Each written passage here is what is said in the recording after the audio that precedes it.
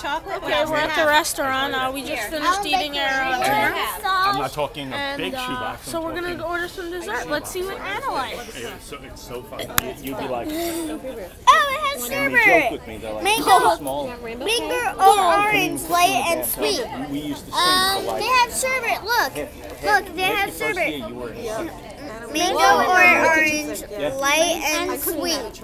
They have, they have. we're gonna be if we're gonna be speaking of said- if if I had a bathroom